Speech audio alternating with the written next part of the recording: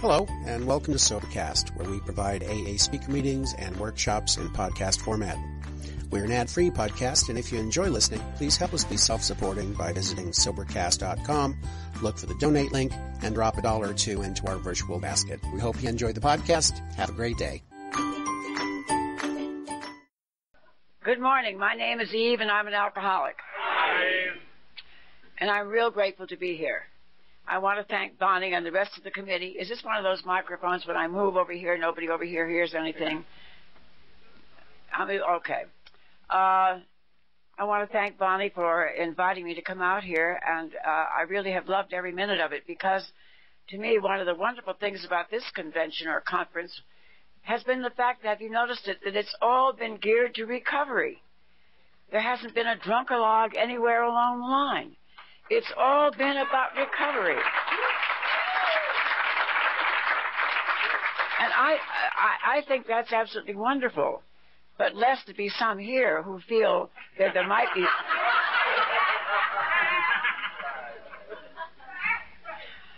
I do talk a little bit when I talk about what we were like. Because I'm sure there are newer people here who still wonder about what we are like. Because you see, that's part of our problem, I think, from the very beginning, and that is we really don't know who we are. And it takes a little time in sobriety to find out who we are. Because all during this period of time that we've been drinking, we've been trying to drink to prove something. And now we have to try and learn that we don't have to do that anymore. And the greatest lesson of all is the fact that we are somebody, even though we may be nobody. Haven't we always been trying to prove that we are somebody? And of course, we don't have to prove anything. Because once we know who we are, we can be our own God given self. And that's the real self that's inside. And that's the self that we're trying to find as we walk this path of recovery. And so I will share a little bit of, I hope, what I was like and what happened and what it's like today. And uh, I must start out immediately by saying that I know full well that I wouldn't be standing here today if it weren't for Alcoholics Anonymous if it weren't for the fact that I had was given the gift of sobriety, that I've had the opportunity to grow in the AA program, that I have become willing to make the changes that I've had to make in my life. I'm very grateful they didn't tell me right off the bat when I first walked in how many changes I was going to have to make, because I'm pretty darn sure I'd have left. And nobody told me how hard it was going to be either, and I'm glad they didn't tell me that, because I'm sure that would have been very difficult for me as well. I was one of those people who, from the very beginning, uh, was empty. One, one of those people from the very beginning who felt this terrible feeling of anxiety, this terrible feeling of uh, of lack, this terrible feeling of inadequacy. We've heard most of the speakers identify to that extent because that seems to be a part of our pattern. This terrible need to try and find out who we are and not really knowing, and, and the resultant need to, to prove things to everybody, uh, to try and have approval from everybody. You'll have to forgive me. I have to drink water all the time. I had cancer last summer and radiation, and it dried out my mouth, and I haven't got any liquid at all. So I keep taking it. And the fun thing is that the way I take it, I have had practice over the years. I carry a lovely flask in my handbag. it's great fun sitting at AA meetings and I whip out the little flask and have my little nip. And I see people looking at me sadly and saying, I wonder if that poor old dame is ever going to make it.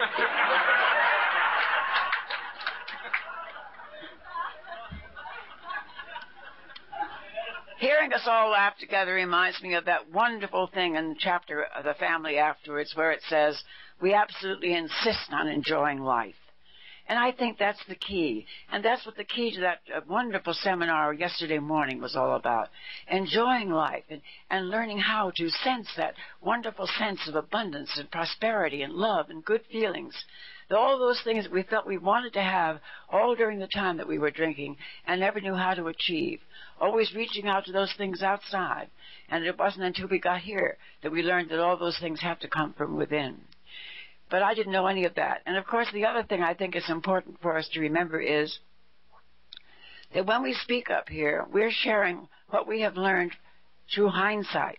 If I had known all the things I know today, I, I probably might have been able to achieve sobriety earlier, or I might have learned to be able to adjust myself better. So what I have learned about myself as a result of sobriety lets me speak about the past with this hindsight. We're all wonderful uh, uh, Monday morning quarterbacks, as it were.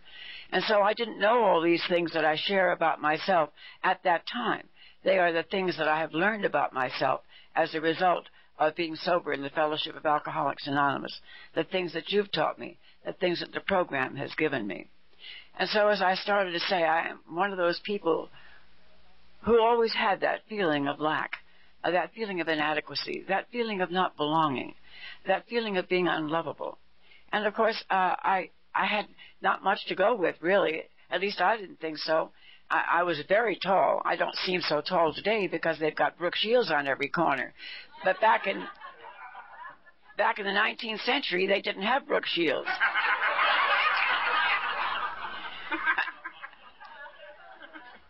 a little late laugh here. Uh, I was very tall, and it made me very uncomfortable. And, and, and I felt awkward, and I was all nose and this big nozzle and uh, arms and legs, and, and I didn't know what to do with boys. For God's sake, I didn't know what to do with boys. And nobody told you much back then. You had to find it out for yourself. Oh, and it was really rough. And so I always had those feelings of inadequacy and not belonging and never feeling a part of. And I didn't know that that feeling of separation that I had from the very beginning was based on the fact that I felt separate from my source, that I did not have that feeling of oneness with my Creator. And that's one of the things that Alcoholics Anonymous, the great thing that Alcoholics Anonymous has given to me. So I stumbled along through my teenage years, miserably unhappy, a feeling unwanted and unloved and unlovable. And uh, I went off to uh, Vassar when I was 16, just 16, in the fall of 1924. I'll quickly add it for you. I'm 78. You don't have to start counting.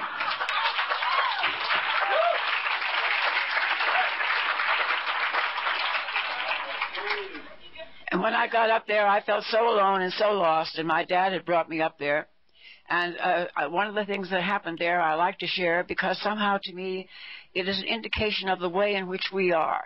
It certainly was an indication of the way in which I was at that time and has so, t- so little understanding of and didn't really begin to understand it until I got into Alcoholics Anonymous and began to work on the steps. But I, I was so terrified of people and, and nobody was going to love me. You know, all those horrible self-involved feelings that we have.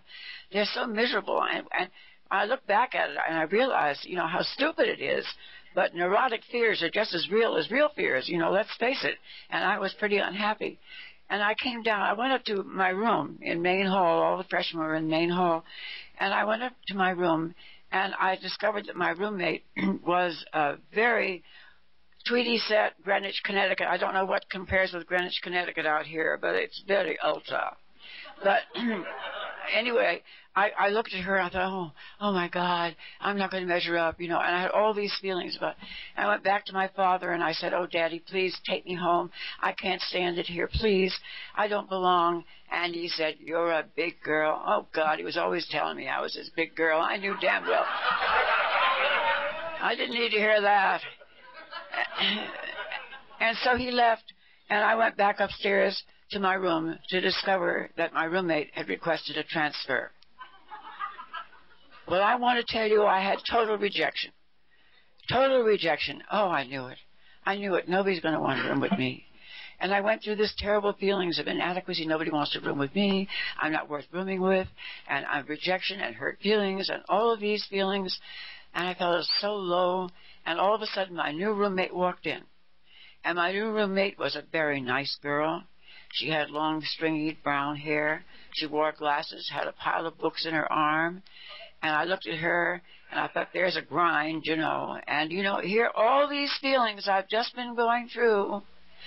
And I look at her and I say to myself, but I deserve better than this.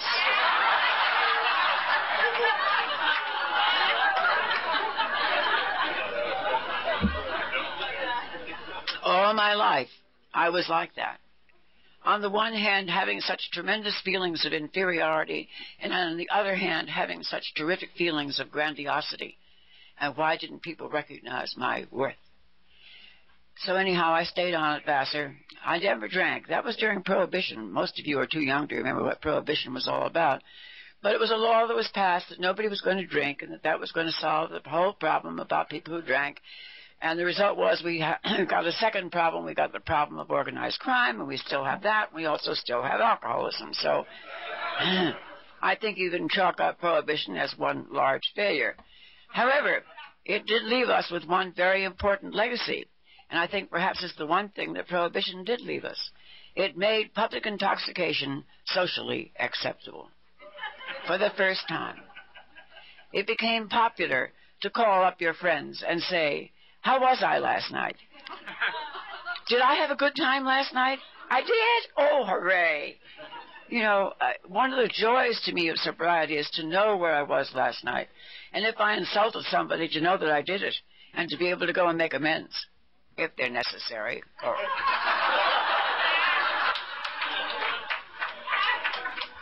Aren't you glad the big book says we claim spiritual progress, not spiritual perfection? In any event, I didn't drink. I knew that I was going to go to Europe at the end of my sophomore year, and I thought I would wait until I was in Europe so that I could drink as Europeans did, you know, graciously, a little wine with the meals, and so on and so forth. And so I didn't drink that first two years. I was at, at college, and of course I was a wallflower. I never got invited anywhere, and if I had been invited anywhere, I wouldn't know what to do. As I said, I was scared to death of boys. I thought they were exciting, but I really didn't know what the hell to do with them. And so anyhow, I didn't have a drink until I was on the ship going to Europe, and at 12 miles out they began to serve and somebody next to me ordered an orange blossom. I didn't know what to order, uh, so I thought an orange blossom sounded kind of innocuous. And so I ordered an orange blossom, and when it came, uh, I drank it, and of course, you know what happened. That magic immediately took place. That wonderful magic that we all experience. All of a sudden, instead of being this great, huge, horrible Hulk, I was five foot two, eyes of blue, and adorable. so you know I had found the answer. And that's what we do. We think we have found a solution. As somebody said last night, I wish I could remember all the wise and wonderful and witty things that have been said at this conference. I wish I'd taken notes because there's a lot of stuff I'd like to crib. I like to tell people I give you credit the first two times, and after that it's mine.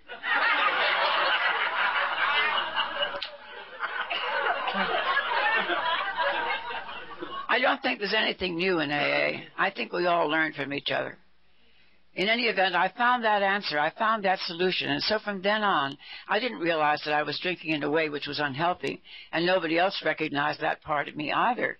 I, I drank because when I needed it, I drank because it was a solution when I needed to be in a social situation. But nobody looked at me at age 17 and said, there goes an alcoholic. Nobody talked about alcoholism back then uh, you know, if somebody got drunk, they got drunk. And then everybody was always making excuses, you know. People were so kind about making excuses for you. When I did get drunk, people would say, oh, poor little Eve, you know, her mother died. Hell, my mother died ten years before, and they're still making excuses for me. And of course, I had such misconceptions about alcoholism back then. I didn't drink every day. I didn't get drunk every time I drank. And so nobody thought I was an alcoholic. Nobody understood that. That the reason I was drinking was to solve those internal problems that I wasn't growing up enough to be able to solve from within. And it wasn't until I got to Alcoholics Anonymous that I found that I would be able to learn how to solve those problems from within. And perhaps to grow up a little bit. Uh, that reminds me of an incident that happened many years ago at a my my group in New York City, which was the Lenox Hill group, and it was a speaker meeting. And we had a speaker one night who got up on the platform and said, I have something I would like to share with you all, if you don't mind. There's something I would like to read. And so he began opening this book and he began to read a little bit. And you know how we all laugh and share and begin to titter and identify and so forth. And everybody's laughing and he's reading from this book and we're identifying and all the rest of it. When he got all through, he said, Perhaps you'd like to know what I was reading from. And we all said, yeah, yeah, yeah. He said, I was reading from Gesell's The Child at Two.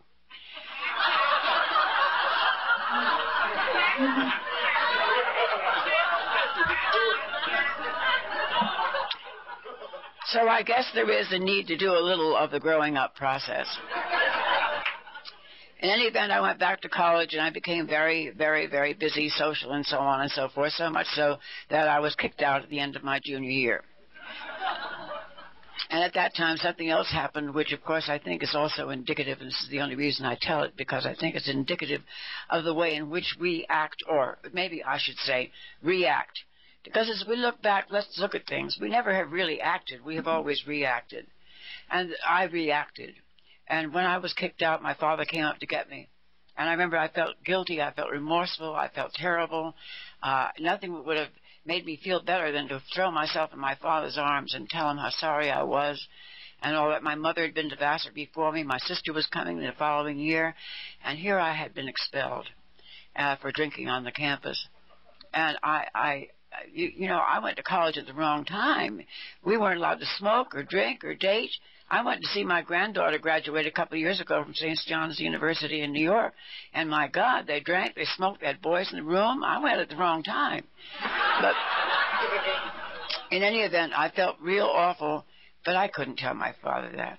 You know, I had to put up that big front, that big facade, that big acting out. And I can remember saying, Oh, Dad, if they hadn't kicked me out, I never would have come back anyway. This place is terrible. It's an awful place. And I went on like that. And I couldn't tell him how sorry I was. And that's one of the things I think that we all do. We put up this front so that nobody can really see how we feel because we're afraid of our feelings and we don't want to be rejected. I was so fearful of rejection all the time. And so I left college and I went on to I, I thought was going to be a brilliant career in the theater. I uh, decided that I was going to be an actress and it wasn't until I got into the Fellowship of Alcoholics Anonymous that I discovered what that was all about. I thought I was going to be an actress. And when I found out in the fourth step what that was all about, I realized that it wasn't that I wanted to be an actress, my dears. I wanted to be a star with my name in lights. And I wanted everybody to come rushing up to me and say, I want your autograph? And, Oh, you're so wonderful, blah, blah, blah, blah. And how many of us do that? That terrible need to try and prove something. Because I think I had that feeling that if everybody else told me I was okay, then maybe I could think I was okay. And we do that. We do that. We constantly strive for this perfectionism, for the pat on the back, for the approval, so that somebody will approve of us, so that we can then think, well, ah, I guess I'm okay after all. Because down deep inside, we have that awful feeling, what's wrong? What's wrong? And that terrible anxiety, that terrible anxiety that we feel, that waking up in the morning with that feeling of doom hanging over our heads, and that anxiety. And that anxiety is what helps us to lose our real selves. We begin to lose our identity. We don't really know who we are. And that's one of the wonderful things about that fourth step when we get in here and begin to find out who we are. Anyhow, the theater didn't last forever. I was finally let go. My uncle was very kind and told me they didn't have parts big enough for me, and that made it easy for me to drop that one. And oh, I forgot to mention the fact that I'd already started doing something else we do. I was starting to get married, and I. I'd married a handsome young actor in the company, and we immediately have a baby. I won't tell you how many months later.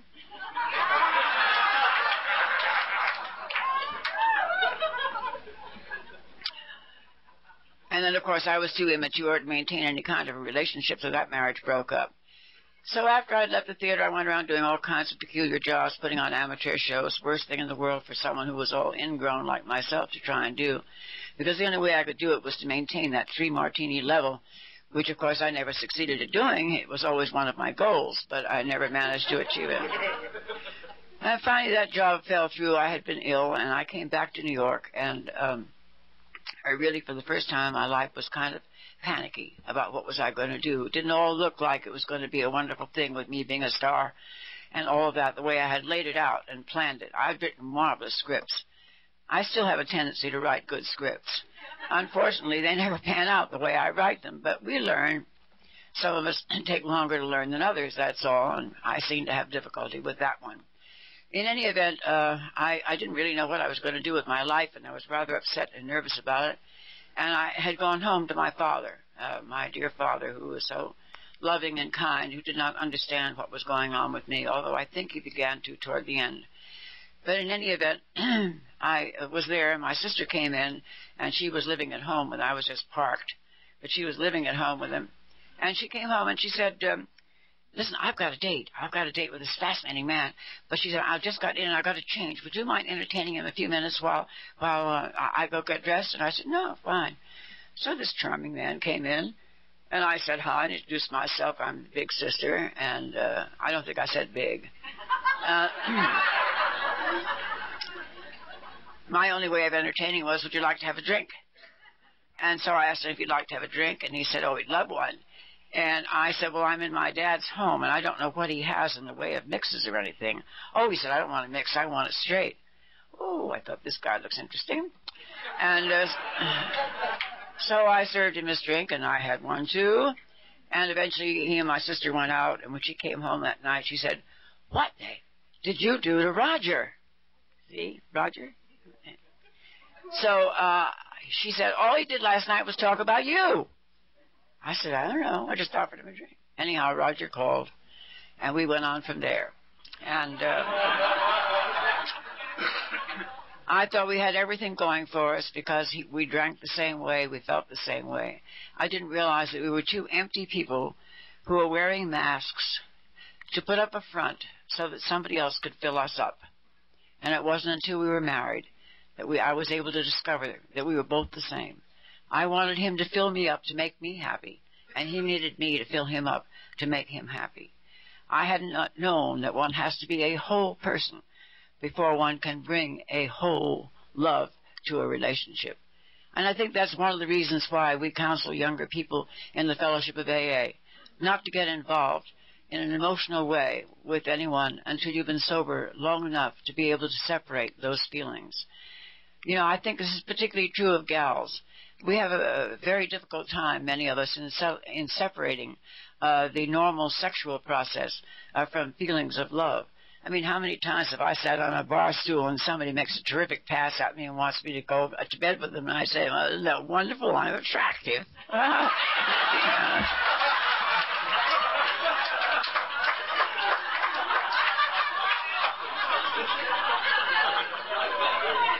And I guess I had done the same thing with poor old Roger. But in any event, we thought we were going to be tremendously happy because really we had a lot going for us.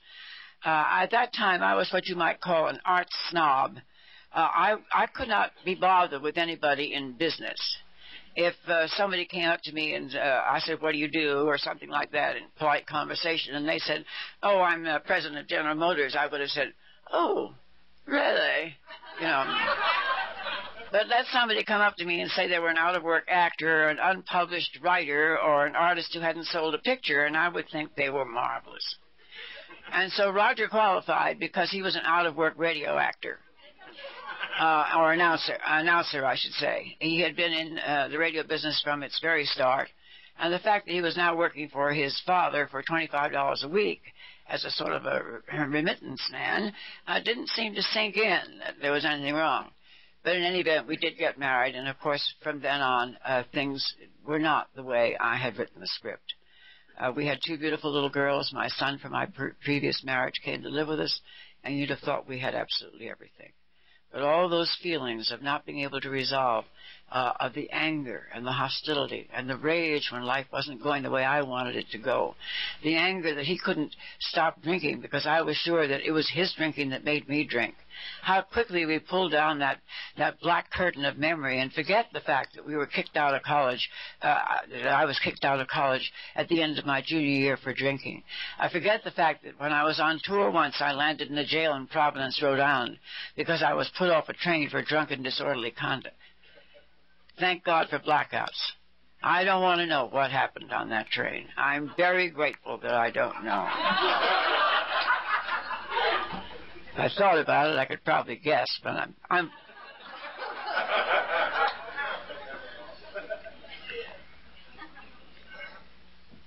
And so we went through what what couples do who are living with an alcohol problem without having any understanding of what it's all about. I didn't understand it, as I say. I thought he was my problem. People would come up to me and say, You know, Evie, you're drinking a lot more than you used to. And I'd say, Yes, I know. It's Roger. Poor old Roger, he got the blame for everything. But you know, I learned something uh, after I got sober, and uh, it's a story I think that demonstrates um, how responsible we are for our own actions, and that's the only reason that I tell it. I used to get black eyes quite often, and of course I always thought it was all his fault. And I remember one morning I woke up and I had two black eyes. And I remember I gave him a nice gentle, uh, you know, in the bed, and said to him, Look what you did to me last night. I was always sweet and gentle and loving, you know.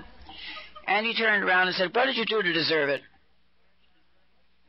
Deserve it? I, this saint, this martyr that puts up with you, what did I do? I could not understand that I had anything to do with my own black eyes. I blamed it on him. But let me quickly digress and tell you that I lived with Roger for six years after I got sober in AA, and that he was drunk every single night, and that during those six years, I never had a black eye. Does that tell you something?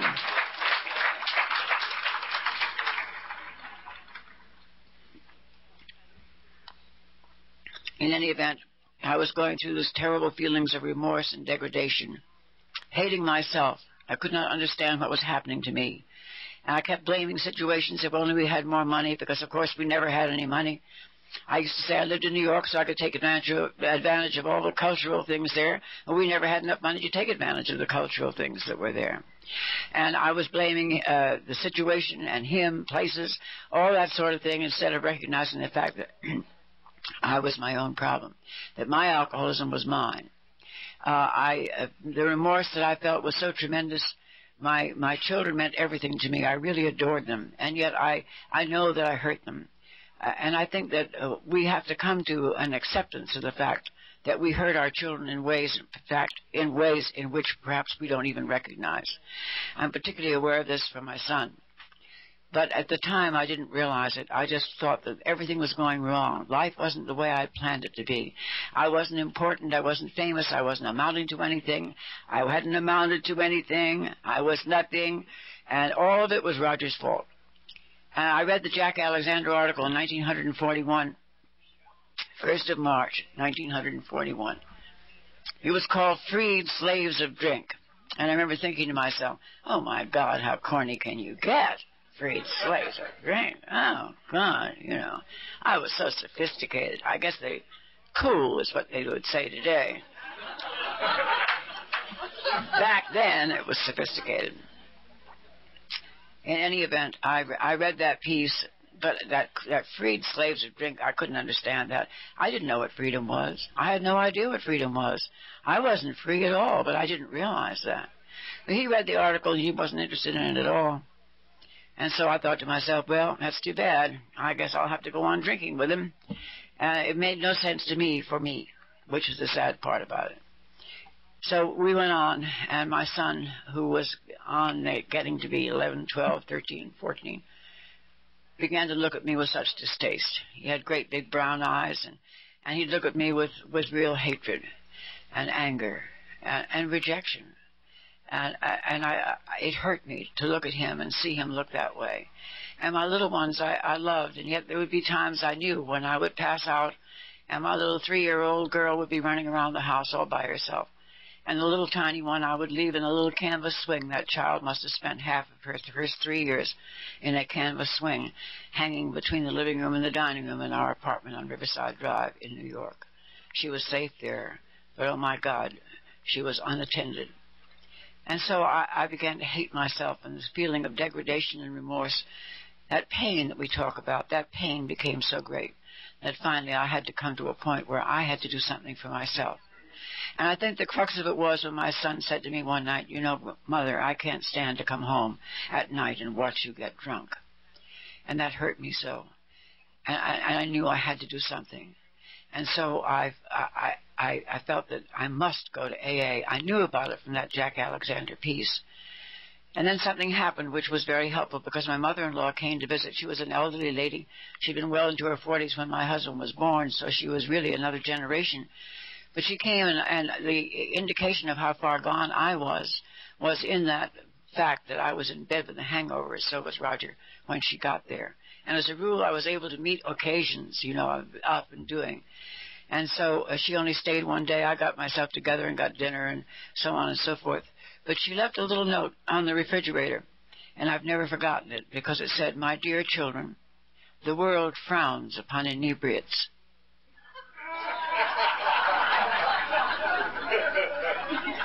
inebriates. Inebriates. Those of you who don't like the word alcoholic, try inebriate on for size.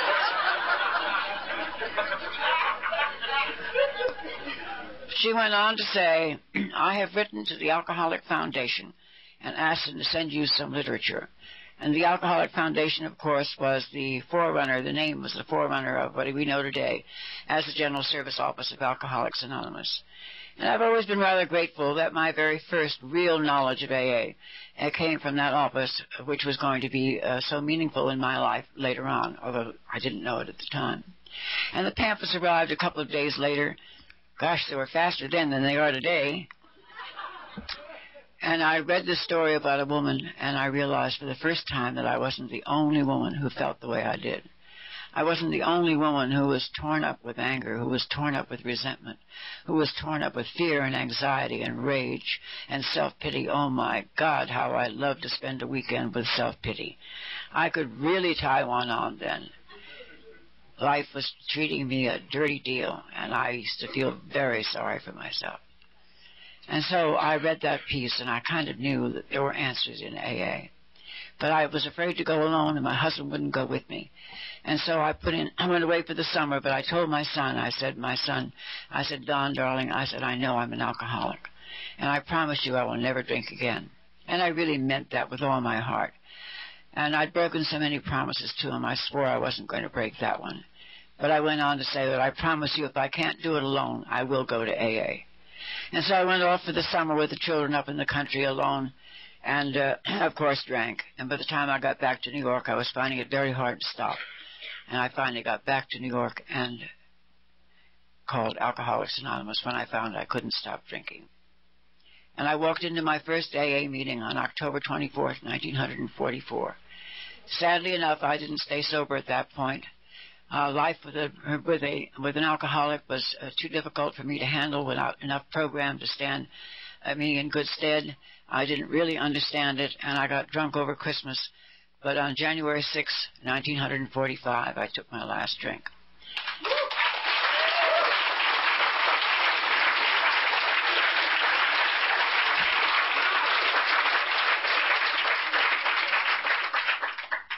Nothing to it, kids. Just get old. One day at a time. And you know, I don't like that word elderly very much. Uh, a little while ago, somebody asked me to do a seminar on alcoholism in the elderly woman, and I thought, why are they asking me to do that?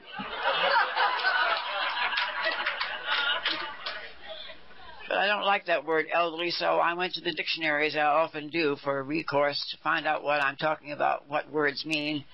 And I found a wonderful definition of elderly, one that I use elderly is a loss of enthusiasm for life. I ain't elderly.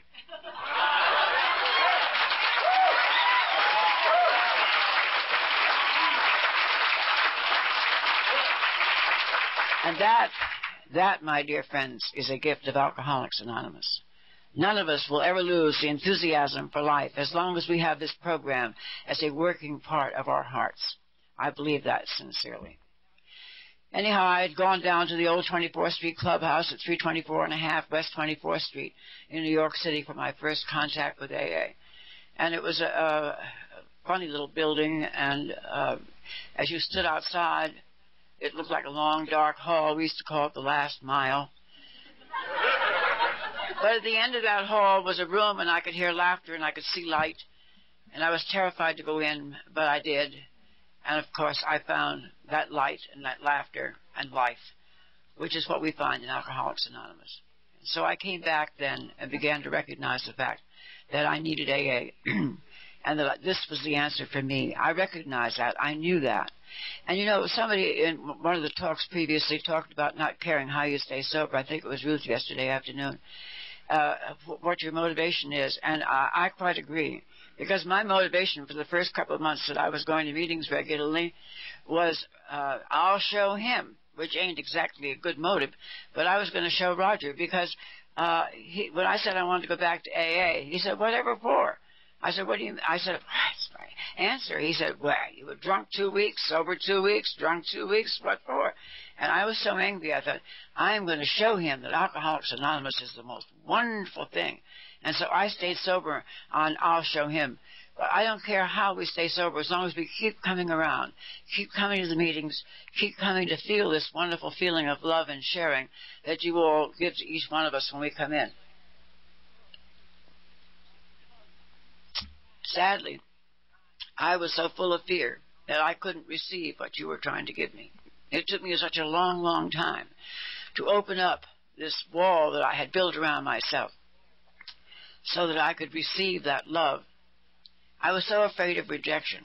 I couldn't dare let anybody love me. I didn't dare love anybody because I was afraid if I did, then they'd reject me.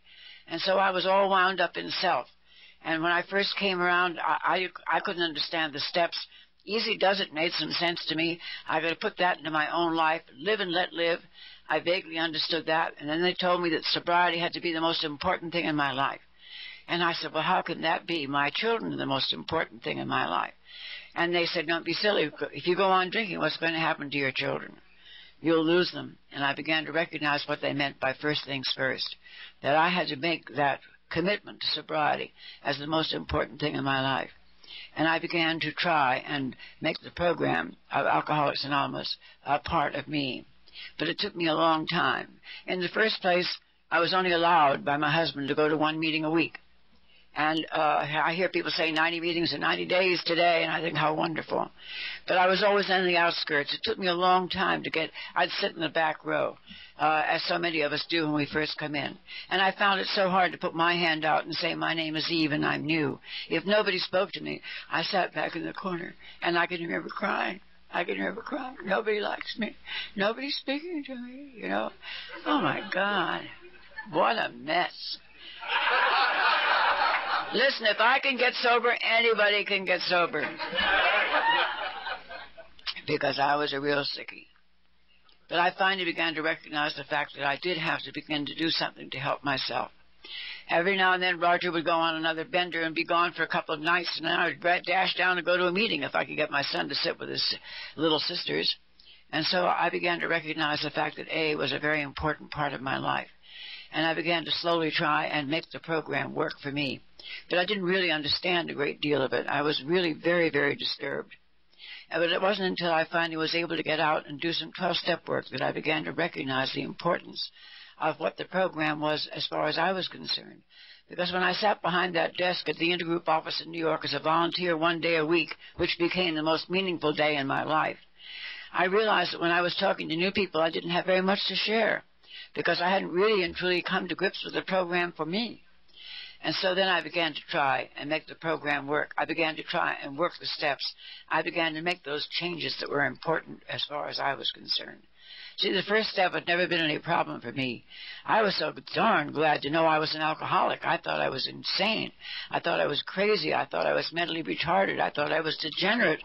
I thought I was all those things, and to discover that I had an illness which was treatable although they didn't actually put it in those terms back in those days, but that it was at least recognized as an illness, made me feel terrific.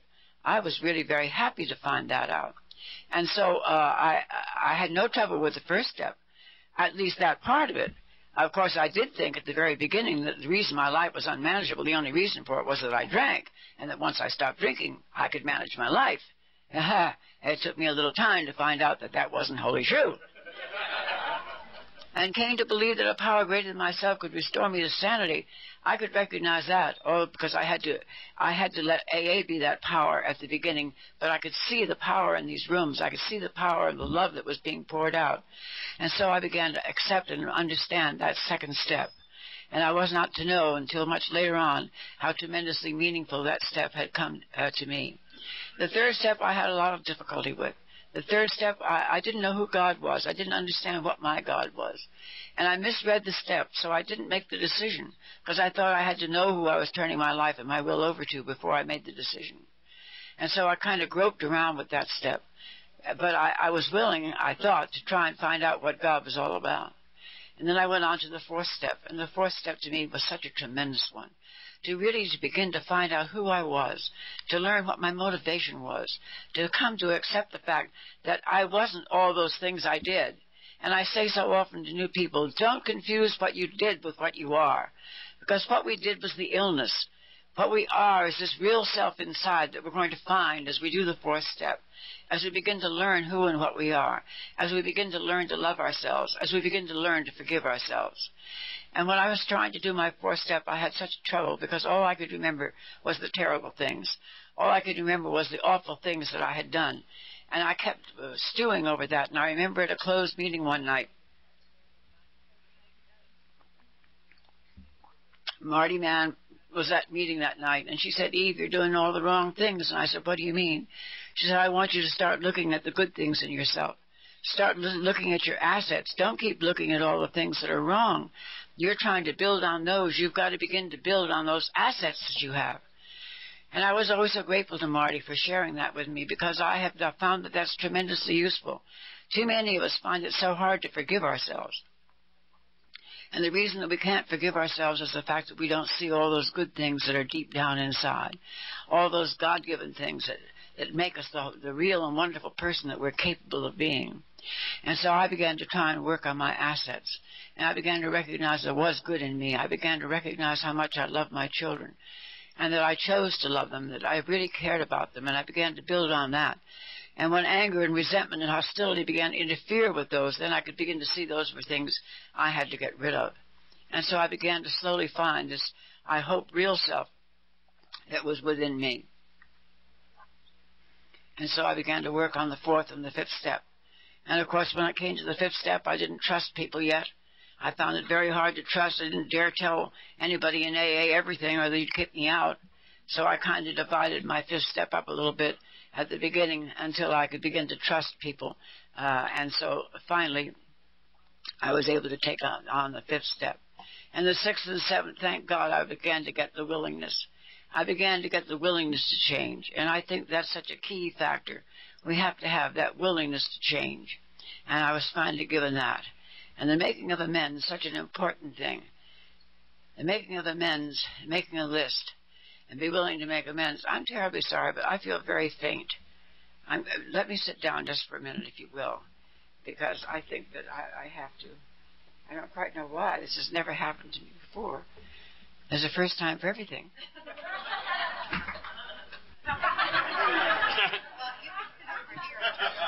yes, right.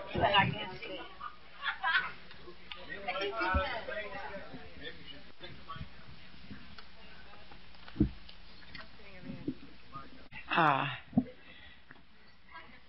Let me just try and finish. That's not on, is it?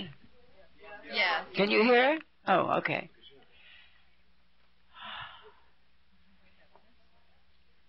So my effort is primarily in the way in which I live every day, the way in which I act and react with the people around me and the people that I care about. Uh, it does. This does it sound? Can you hear? Oh, okay. And so I began to try and make amends. Of course, I did all the wrong things. You know, I was going to make up for the external things, rush out and buy beautiful little velvet dresses for my daughters, and say, see what a good mummy I am. And of course, that really wasn't it at all. And with my son, I've tried to make amends over the years. And sadly, he and I have not had too much communication with each other. But I have got communication with his children, my grandchildren, and I'm so grateful that I have that because ours is a very loving relationship. And so I've tried to make amends to those people that I've hurt. But as I've said, to me the important thing in making amends is the way in which you live each day hereafter.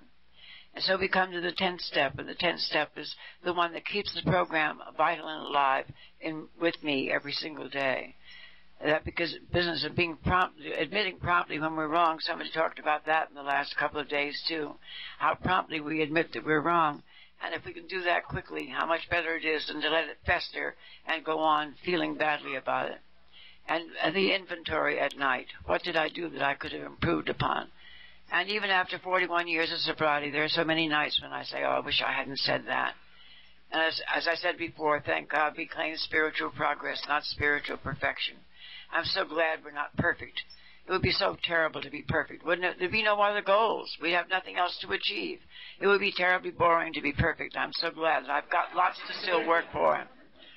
And the 11th step was a wonderful step for me because the 11th step helped me to begin to understand about my higher power. Sought through prayer and meditation to improve my conscious contact with God as I understood Him, praying only for knowledge of His will for me and the power to carry that out. And I did a lot of reading and studying and trying to understand what my higher power was all about. And you know, I didn't really know and I didn't know how to pray. And like so many of us, I was so self-conscious, so terribly self-conscious. I was convinced that if I got down on my knees alongside my bed, that everybody in the building in the courtyard across was all looking out the window saying, look at Eve on her knees. Of course, nobody could even see in the window, but that's the way I felt. You know, Phil talked a little bit about that last night too. We get so self-involved. But I began to recognize what they were talking about. And I remember once I had an experience which made it so very vivid to me. I was terrified of subways, and in New York City you can't get anywhere without riding in the subway. And I generally took buses or walked everywhere. But I had to go all the way to Wall Street. And the only way I could get there, unless I wanted to spend a whole day getting down there, was to take a subway. And I got on the subway and I began to panic. That terrible feeling of being closed in, that claustrophobia. And I began to have the awful feeling of panic. Uh, I guess I'd been sober a couple of years. I don't know, maybe a year only. But anyhow, I thought to myself, oh God, I've got to do something. And so I kept saying, sought through prayer and meditation to improve my conscious contact. And I went over and over the 11th step in my mind. And it was the most incredible, the most amazing thing. The palpitations stopped. I start feeling panic. I stopped feeling panicky. And I took that long subway ride with a feeling of peace and comfort. And I began to understand what it meant when I said if you pray, you will begin to have that feeling of at oneness, that feeling of comfort. And I began to go back to work on the third step and to recognize that I needed to turn my will and my life over to a power greater than myself, regardless of whether I knew what it was or not. And the 12th step, of course, putting these practices, putting these principles to work in our daily lives and carrying the message. And I've had so many magnificent opportunities to do just that over the years. I have so very much that I must be grateful for. When I look back and I think of all those years that I felt so sorry for myself, and after I'd been sober for a little while and I'd worked as a volunteer at the intergroup office, they finally came to me and asked me if I would go in as the paid secretary. Well, it came at a very fortuitous time. I'd been in the, the program almost six years at the time, and Roger and I had just broken up, and I had no way of supporting myself and here was a job being offered me in AA. Granted, it was a pittance as far as money was concerned. AA jobs don't pay very good as a rule. Much better now than it used to be, as it should be. In any event, I, I went to work at, at the intergroup office, and very often some of the gals were there they would say, hey, listen, we're all going out to a meeting tonight. Let's go on out and have a good time. We'll go to a meeting, have dinner. And I would say to myself, oh, I can't. I got to go home. My kids, my kids, I got to go home.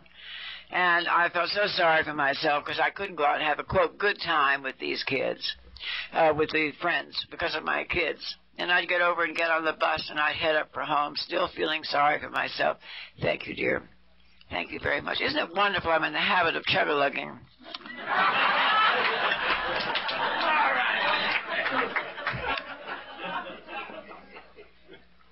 But by the time I got up to the corner of 97th Street and Riverside Drive where we lived, and I got off the bus and I looked up and there was a big bay window in the apartment. And saw my little girls sitting in this bay window, and I could almost hear them as I'd see them excitedly jump up and down and say, Here's Mommy, here's Mommy and I learned how grateful I needed to be that I had those beautiful daughters. Because if I had if I had not stopped drinking, I would have lost them. And I learned to be so grateful that Roger was an alcoholic. And I had so resented his alcoholism and the fact that he wouldn't get sober. I had resented it for so long. And now I had learned to be grateful because if he'd been a normal drinker, he would have taken my children away from me and I would have lost them. And then I began to recognize the fact that those gals that were out having a good time were living in furnished rooms. Their children were with their fathers. And that I had so much to be grateful for. And you know, love is, the power of love is, has been the theme of this convention. And to me, love is what AA is all about. And love was the one thing that I was afraid of. Love was the thing that I didn't know how to show, that I didn't know how to share. Based on my terrible fear of anxiety, that loss of identity that I had suffered as a result of my alcoholism. And therefore that fear of rejection and that fear of loving, the fear that it wouldn't be returned.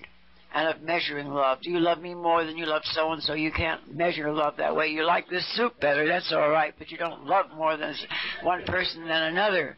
But I hadn't realized all that, and I began to recognize how important love was, and I had learned to be able to love people. Mostly I had learned to be able to love people because I had learned to love myself. It's most important that we understand that. As I said before, that what we did is not what we are, that that's a part of the illness, and that self-forgiveness and getting over the feelings of guilt are a terribly important thing if we're going to stay sober. And it's only when we've learned to love ourselves that we are able then to be free enough to learn to live to love other people because it, it, love is a two-way street. It's like breathing, and you don't stop and say, "Now I'm breathing in, now I'm breathing out." You know, it just happens. And love is receiving and giving both, and we don't stop and measure it anymore. And that's the commitment. And love is a commitment, but it doesn't. It has no return. It not, has no thought of any return. And that's the way my love for my children was. There was no thought of any return. But you know, love is a wonderful thing. It has a wonderful way of always coming back to you. You may give it out here and it may come back over there, but we don't measure where it's coming from. But this last year, last um, May, uh, March, a year ago, I discovered that I had cancer in my neck. And uh, so I had to have radiation therapy for about 10 weeks every day. And I got very, very ill as a result of it. And my daughters, both married, they live fairly close. One lives 70 miles away, one lives 20 miles away. It's close. But anyhow, it was like the changing of the guard at Buckingham Palace. On Saturday, Ruth would leave and Liz would arrive. the following Saturday, Liz would leave and Ruth would arrive. And this went on for the three or four or five weeks that I was uh, so sick that I could not care for myself. And after they'd left and I was beginning to get better and could handle my little needs and take care of myself, one day I found this tremendous sheet, the foolscap this yellow sheet. And I looked at it and I thought, what is this? And here were these things written on here. And I recognized both girls' handwritings on different sheets. And one of them would say, uh, she's been rather depressed. Uh, she isn't eating very well. I tried to get some pasta with some consomme, and she liked that. I've done the laundry. Don't let her watch so much TV.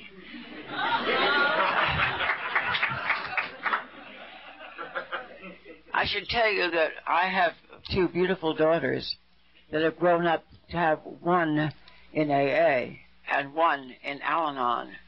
And so as I read down this list, and one little note said, don't hover over her. Let her do things for herself.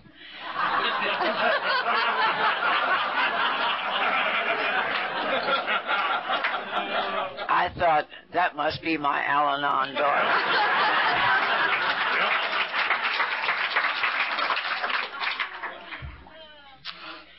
you know, it's a wonderful thing, isn't it? How things happen and how things come true. My older daughter came running down the hall one day when she was about 11 years old. She was all excited. She said, Oh, Mummy, I know what I want to be when I grow up. And I said, What do you want to be, darling? Oh, she said, I want to be a ballet dancer and a member of AA.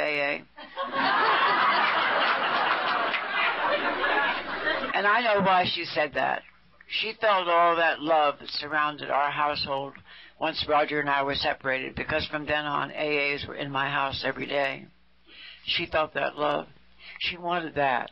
She didn't want the pain. I'm sure she didn't ask for that. But she got it. And today she has nine years of sobriety and Alcoholics Anonymous.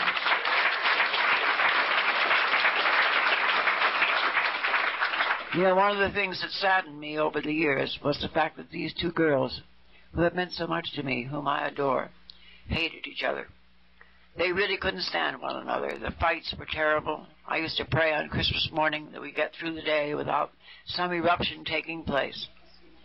And then my youngest daughter decided to go into Al Anon in order to deal with her sister who was drinking by that time had become obvious. And also she was going around with an AA guy at that time.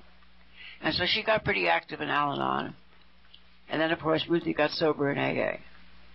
And the two of them together, each working in their own program, Al Anon and AA. About three years ago, those two girls came together in a beautiful healing. And they not only love each other, they're friends. And I'm so grateful to Al Anon, as well as to Alcoholics Anonymous. AA has been a tremendously important part of my life. Not just from the point of view of program, which of course is essential, because I have learned, I hope, to be able to put these principles to work in my life. I have tried to make Alcoholics Anonymous a viable and active part of my life on a day-to-day basis. I love Alcoholics Anonymous. I love this fellowship. I think the gift that we have received from this is so tremendous.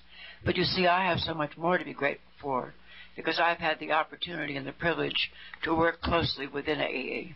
I spent 17 years at the General Service Office after I left Intergroup in New York and had the opportunity to work at that heartbeat of Alcoholics Anonymous, that central point, uh, to, to work with the staff there and to watch AA grow around the world. I've been excited by AA's growth around the world. To see AA developing in faraway countries, and I began to get so curious. I thought, oh my God, is it really working? I can't hardly believe it because I was often on the overseas desk. And so I, I began to get curious, and I thought, oh, I've got to go and see. I've got to go and see. And eventually I did have a leave of absence from the office for a whole year.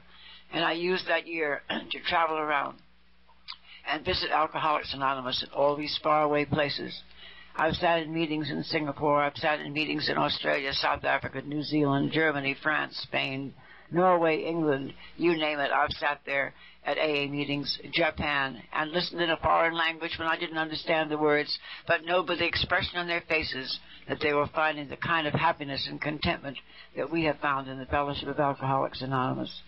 But for Pat, I want to tell one story because it was mentioned the other night.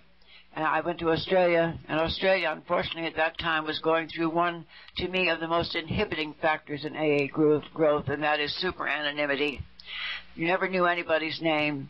You never knew where to find AA. They were so afraid somebody would know where they were. And I would be introduced to people like this is Bow Tie Harry, and this is this is Racetrack Alf, and so forth. And I never knew who anybody was, and it, it was very confusing.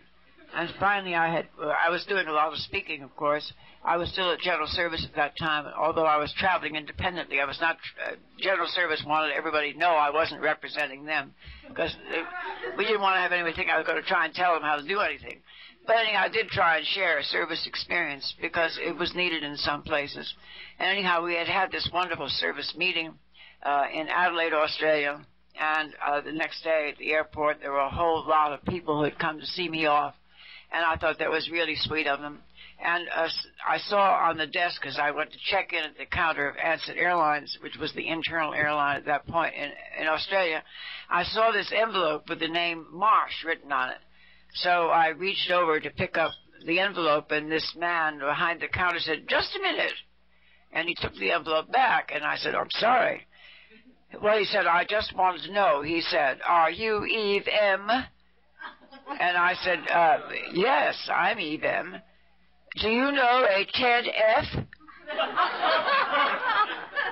so I turned around to the people behind me and I said, do I know Ted F? And they said, well, yes, he was in the chair last night. Oh, I said, yes, I know Ted F. So the man then smiled and said, well, oh, all right, Mrs. Marsh, you were the only M on the manifest, so we thought this must be for you, but we weren't sure. And he tore open the envelope and handed me a telegram addressed to Eve M., Ansett Airlines, Adelaide, Australia. now, I submit to you that that broke my anonymity a hell of a lot more than if they had addressed it to Eve Marsh.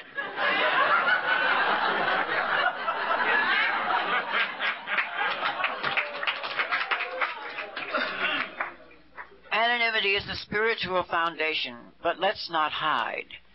Let's not make it difficult for people to find us.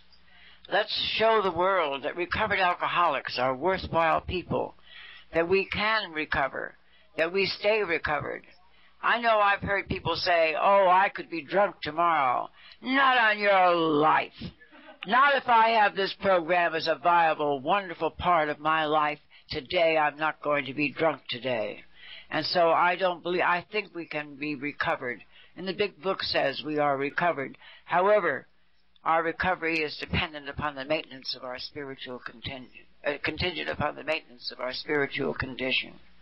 And that's the reason we need to keep in touch with our source. That's the reason we need to come to a grips with an understanding of the fact that our source is what we've been separated from, and that now we can be joined with our source.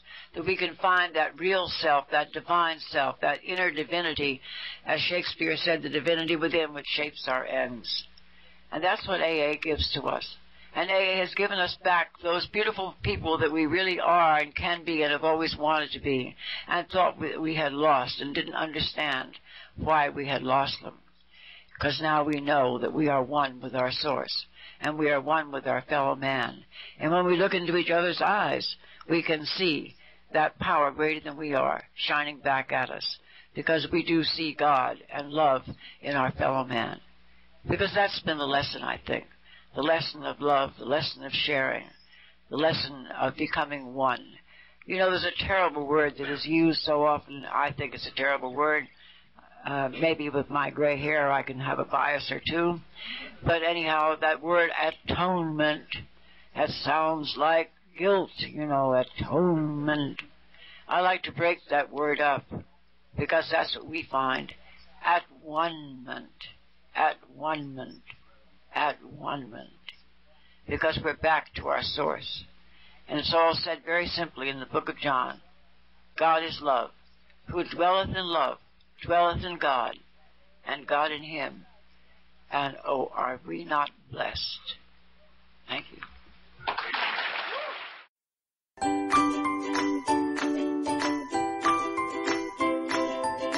Thanks for listening. I hope you enjoyed the podcast. Sobercast is ad free, and we'd like your help in order to keep it that way. So if you'd like to help us be self supporting by pledging a dollar to a month, visit Sobercast.com and look for the donate links. Thank you very much.